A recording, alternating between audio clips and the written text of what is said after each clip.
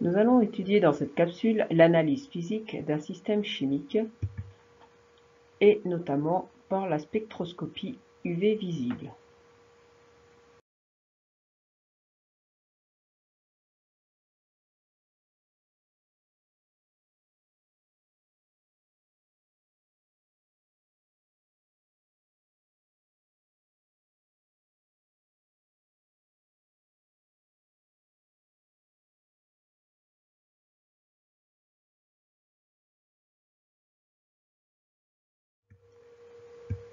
Ensuite, euh, quelles sont les méthodes pour analyser un système chimique? Il y a l'analyse physique. Il s'agit d'analyser le système sans destruction de l'échantillon. Un exemple, la spectroscopie UV visible pour des espèces colorées, la spectroscopie infrarouge pour des molécules organiques, la loi des gaz parfaits pour les gaz, ou encore les dosages par étalonnage pour les solutions aqueuses. On peut analyser aussi un système chimique par une analyse chimique. Dans ce cas, il y a destruction du système chimique au cours de l'analyse. Pour cela, en fait, on étudie la réaction entre un système chimique et une autre espèce, et cette réaction détruit effectivement notre échantillon. On verra les titrages et les titrages conductimétriques.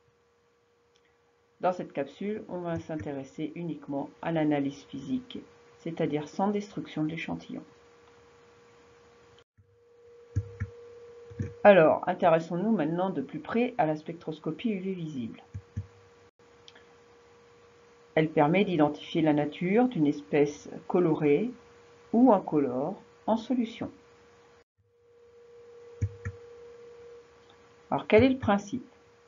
On prend une source de lumière blanche qui va donc contenir toutes les couleurs de l'arc-en-ciel. Sur le trajet de la lumière blanche, je vais placer une cuve avec la solution analysée. Je vais mettre euh, après la cuve un prisme de verre dispersif, ce qui va permettre de disperser la lumière blanche on reconnaît les couleurs ici de l'arc-en-ciel, violet, bleu, vert, jaune, orange, rouge. On observe ici qu'une des couleurs a été absorbée par la solution.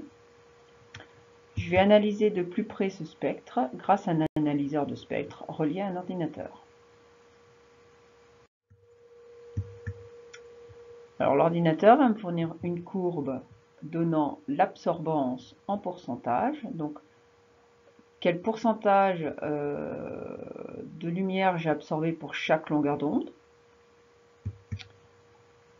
en fonction de la longueur d'onde. Donc mon analyseur de spectre euh, va balayer toutes les longueurs d'onde comprises dans l'UV. Donc l'UV c'est euh, en dessous de 400 nanomètres. Et le visible de 400 à 800 nanomètres. Donc cet analyseur va balayer toutes les longueurs d'onde reçues et va regarder quelle quantité de lumière a été absorbée pour chacune de ces longueurs d'onde. L'absorbance peut donc être égale à 0. Toute euh, la lumière de la longueur d'onde a traversé la solution. Ou peut-être, et peut aller jusqu'à 100%. Dans ce cas-là, la totalité de la longueur d'onde a été absorbée par la solution. En général, on trouve ce genre de courbe. On observe donc que euh, les faibles longueurs d'onde dans l'UV sont peu absorbées par l'échantillon. Puis euh, les longueurs d'onde comprises entre 350 euh, et 550 sont fortement absorbées. Puis ensuite, les longueurs d'onde sont de moins en moins absorbées jusqu'à 800 nanomètres. On observe un pic ici. Ce pic, on identifie la longueur d'onde, la longueur d'onde du maximum d'absorbance, 420 nanomètres. On n'oublie pas qu'ici en bas, j'ai des nanomètres. On prend le cercle chromatique. 420 nanomètres est situé plutôt autour du violet. On va attraper la couleur complémentaire, c'est-à-dire la couleur qui est en face du violet, le jaune. La solution que nous venons d'analyser est donc de couleur jaune. Je répète le raisonnement. Grâce à un spectrophotomètre, on a tracé la courbe d'absorbance en fonction de la longueur d'onde. On repère le pic d'absorbance. On identifie la longueur d'onde de ce pic d'absorbance, 420 nanomètres. Sur le cercle chromatique, on cherche cette longueur d'onde. On trouve ici autour du violet, c'est là où on est le plus proche. On prend la couleur complémentaire située face à cette couleur absorbée. On repère le jaune. La solution est jaune.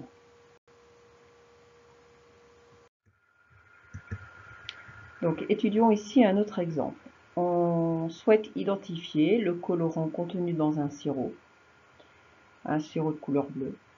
Alors on a le choix entre trois colorants, le E133, le E131 le E132. Donc comment faire? On a tracé le spectre euh, d'absorbance pour le E133, le E131 et le E132. Pour chacun de ces colorants, on va repérer le pic d'absorbance celui-ci pour le 132, celui du E133 et celui du E131. On remarque déjà que chacune de ces espèces chimiques, E133, E131, E132, a une longueur d'onde pour le pic d'absorbance complètement différente. Il faut savoir que la longueur d'onde du maximum d'absorbance dépend de l'espèce analysée. C'est un peu euh, comme une empreinte. On regarde ensuite le sirop. Et du coup, sur le sirop, on remarque que le pic ici est situé au même endroit que le pic du colorant E131. E Nous allons supprimer l'identification des pics du E132 et du E133 et on remarque bien que le pic du sirop est aligné avec le pic du E131. Le pic est au même endroit, la longueur d'onde du maximum d'absorbance est au même endroit, est, identique. On peut donc affirmer que le sirop contient l'espèce E131. Alors, est-ce qu'on peut bien vérifier effectivement que mon colorant est bleu? Alors, on observe ici une absorbance la longueur d'onde 640 nanomètres. 640 nanomètres, on va être autour du orange. La couleur complémentaire est bien le bleu. On absorbe le orange. La solution est bleue.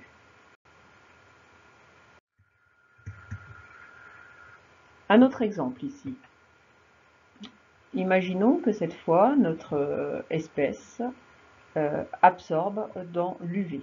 Hein, on voit ici le spectre qui a été tracé correspond à une espèce qui a son pic d'absorbance là, situé à 272 nanomètres. Nous sommes en dessous du visible, c'est bien de l'UV. Qu'est-ce que cela signifie? Eh bien, cela signifie que euh, cette espèce est incolore. Si on absorbe dans l'UV, l'espèce est incolore.